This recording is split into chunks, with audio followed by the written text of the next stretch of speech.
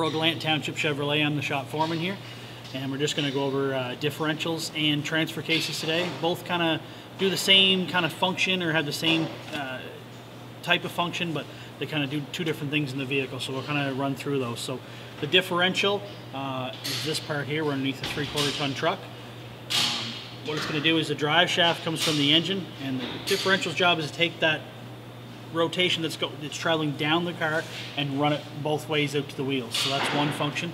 The next is to uh, increase torque or RPM or speed of the uh, vehicle, take that rotation that's spinning at a certain RPM and, and, multiply it out to the wheels.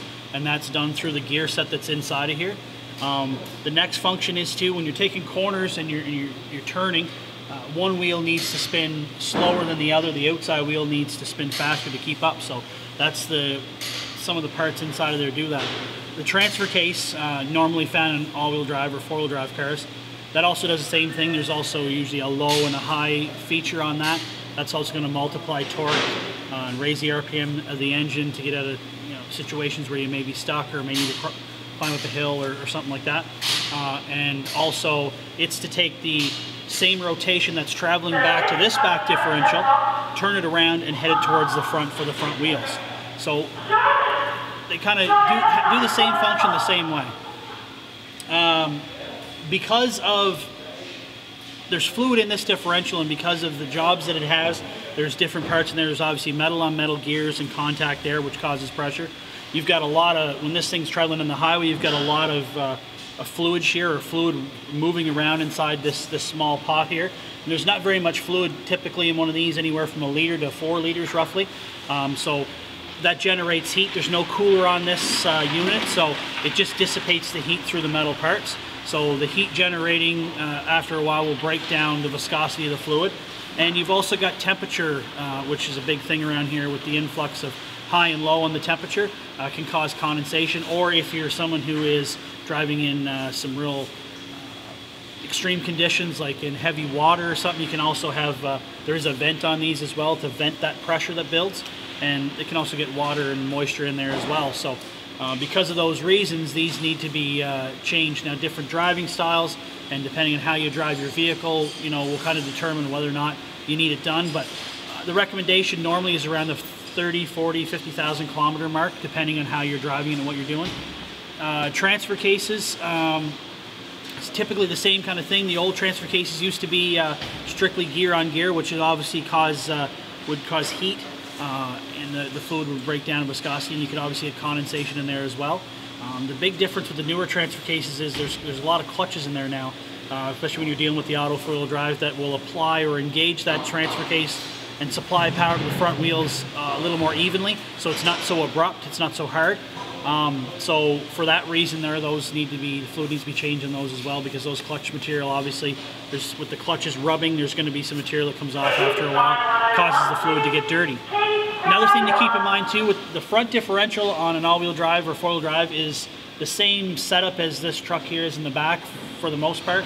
Um, older trucks used to have uh, locking uh, wheel, wheel hubs. So when you were driving on the road with that, that style of vehicle, um, the gears in here were normally stationary. If you weren't in four-wheel drive and you had your uh, wheels unlocked, uh, your your differential wasn't turning. Now, most vehicles today, that differential is turning whether you're in four-wheel drive or not. So you may think, oh, well, my front differential, I don't use it very often, not in four-wheel drive very much, but that's turning the whole, every time the, the vehicle's moving down the road, it's turning as well. So there is fluid shear um, in there, which is going to cause heat, which is going to break down the fluid after time. So something else to think about. Um, other than that, uh, it's a pretty quick thing to check. You can see on this particular vehicle here, there's this plug. There's one in the front and the rear. Our technicians here will pull that out and basically uh, dip their finger in or a screwdriver or something and pull out a small sample, uh, which they can show you if you uh, if you need us to show you guys what it looks like. Same thing on the transfer case. It's just a it's a quick sample of the fluid. Um, yeah, other than that, uh, for this to function properly, clean fluid is very important. Those clutches that allow this thing to uh, turn corners and allow the wheels to spin at different uh, different speeds. Those can get clogged up, they can get dirty. There's, there's little fingers and cogs in there that, that lock that. So you want those things to move freely and, and you want them to be working working good. So next time you're in for a service, if you're driving a four-wheel drive uh, vehicle or an all-wheel drive, um, or even a two-wheel drive truck, we're still to have this back here. Uh, get the guys to uh, check the diff fluid for you. We, we normally do it anyway, but just mention it if you want a sample of that, especially if you get over the 40,000 kilometer mark and you've never done it. Uh, if you're dealing with a front-wheel drive vehicle, there uh, will be a differential there as well. It's built into the transmission, so they call that unit a transaxle.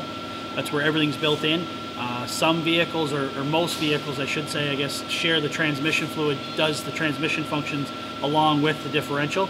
There are some vehicles out there that have a separate fluid for that differential, uh, which can also be checked in the same manner as this as well. So, um, yeah, so that's a quick rundown on uh, transfer cases and, and, differentials. Any questions or comments, just drop them down below. And uh, like I say, any uh, any ideas on what you guys want me to talk about uh, in the next episode, drop those in the comments, and uh, we look forward to seeing you guys. Thank you.